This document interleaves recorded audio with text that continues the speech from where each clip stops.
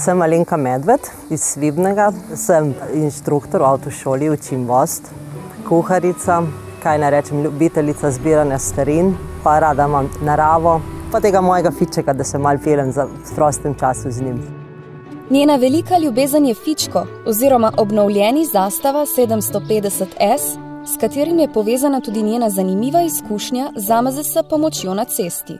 Jaz sem članica kluba starodobnih vozil Tornado iz Lake. In smo lansko leto prvič se udeležila uh, srečanja tridnevnega izleta.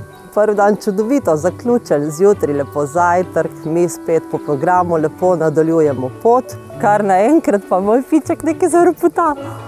Oh, sam to sem pomislila, joj, kaj zdaj, ne? cela kolona se je pa zaradi mene ustavila.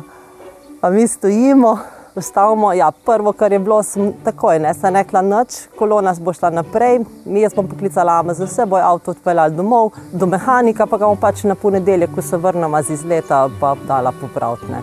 Pa smo šli s kolegico, se potem naprej peljemo, ni bilo eno uro, kličejo iz seja, da bo avto popravili. Se vse tle, halo, pa se hecate malne, a ga niste pelali v Zagorje, ne? tam, ko imamo mi svojega mehanika, ne? da ga bojo popravili. Pa pravijo, ne, mi smo našli ta rezerven del in bo v roku kakšne dobre urce bo avto popravljen.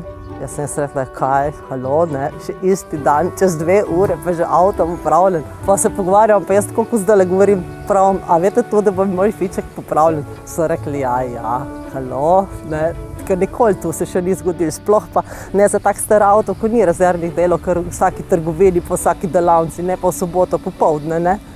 To pa sploh ni logično, ne. Jaz sem bila toliko vesela noro. Pa smo mišli naprej, smo si šli ogledati grad, kostel, pa, to, pa se vrnemo nazaj. To je bilo noro. Avto je bil nazaj popravljen. Ja, res, jaz sem bila presrečna. No. Ta fičko je moja ljubezen, to je Fiat, zastava Fiat 750S. To S, to ni kar navadna oznaka, to je pa je nekoč bilo malo boljši, boljša mašina. Do fička je prišlo kar iz heca. Ta fičo bi najbrž drugače končal na odpadu. Smo ga uredili, zrihtali, čisto na novo poštrihali, nove gume, na novo smo ga obulj uredili. Tako da ja, zdaj pa moj.